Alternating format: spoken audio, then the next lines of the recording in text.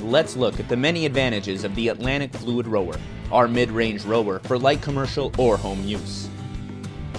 All of our rowers apply the best fluid resistance technology that, hands down, provides the best on the water feel.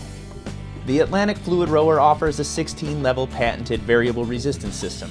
The user never plateaus and will always be challenged and be able to raise the bar according to the demands of their fitness regimen. The anodized aluminum seat rail is strong, durable, and maintains appearance. The Atlantic Fluid Rower represents the first step into our high-end rower line. For a great in-home or light commercial use, it delivers a great rowing experience for men and women of any age and at any fitness level.